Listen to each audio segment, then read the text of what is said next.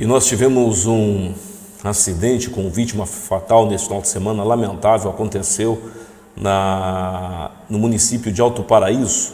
Tá? Vocês estão vendo a imagem, pode deixar a imagem rodar direto. É, o motorista de um carro morreu após uma batida frontal contra um ônibus universitário que transitava pela RO 459, ali naquela região da, da, da, da área rural. Esse ônibus que leva e traz é, alunos, tá? É, que a informação que eu tenho vem estudar em Ariquemes. Olha a pancada violenta que, que, que culminou na morte do rapaz que estava conduzindo é, o, o veículo. Ele estava com a esposa dele, né? Ou seja, no carro estavam duas pessoas, que também são moradoras de Alto Paraíso, e com impacto frontal o veículo ficou destruído e o ônibus. Você passa a ter noção né, é, da forma que realmente né, acabou acontecendo.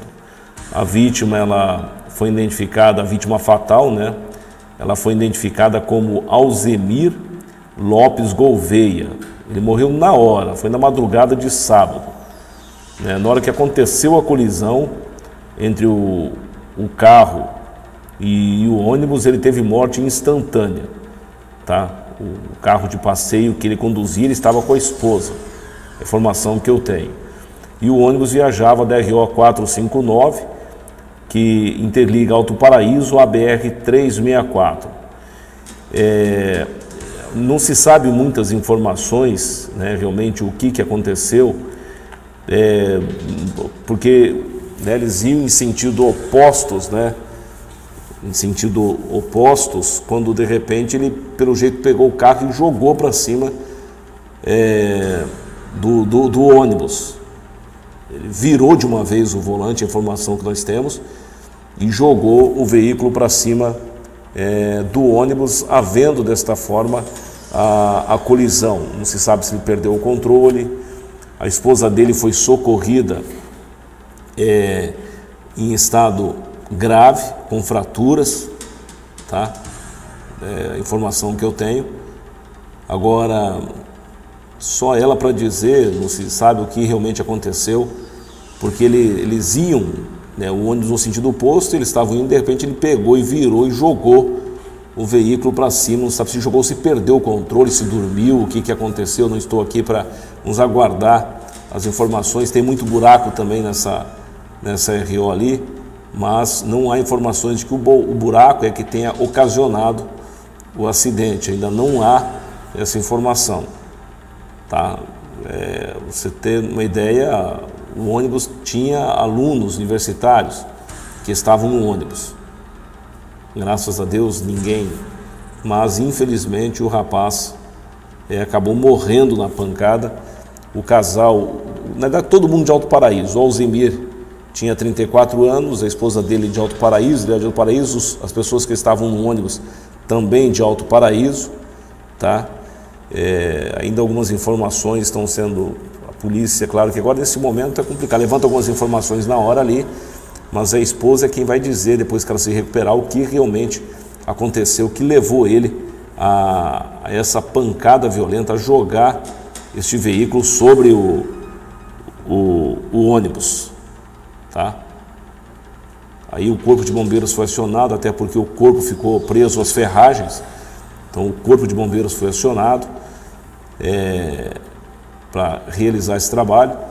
Muitas informações são dadas, só que nós temos que filtrar as informações para depois passar a informação é, correta. Né? A perícia foi acionada, também realizou todo o trabalho. Daí a funerária foi acionada para a remoção do corpo do local. Pancada muito forte mesmo, uma colisão muito violenta.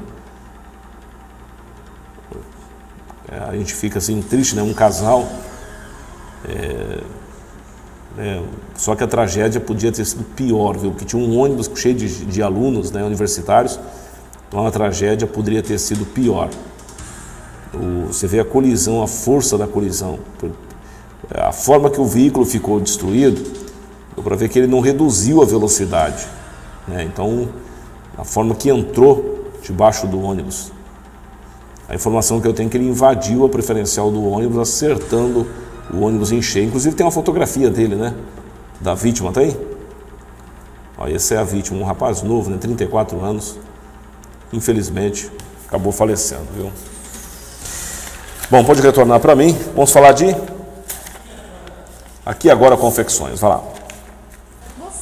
Gosta de abusar da tendência da moda, extravasar nas cores, o lugar é aqui. Vem para as lojas aqui agora.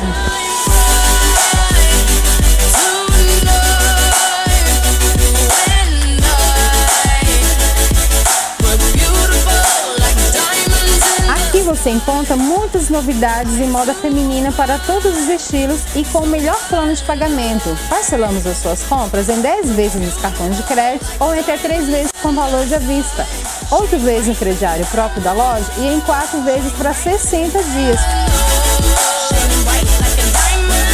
Entre em contato com nossas redes sociais e garanta já o seu condicional. Não ande fora da moda, vem para as lojas aqui agora, porque lojas aqui agora, seu ritmo, sua moda. Vamos aproveitar rapidinho falar de CFC Nacional, vai lá. Centro de Formação de Condutores Nacional. Aulas práticas e teóricas com instrutores altamente capacitados e uma frota de veículos completa. Primeira habilitação, cursos de reciclagem, adição e mudança de categoria, em até 10 vezes no cartão, ou parcelado em até 6 vezes. Novas turmas dia 6 de março, período noturno. Aulas 3 vezes por semana. Reserve já sua vaga.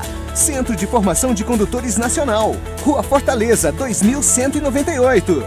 Telefone 3535 5631.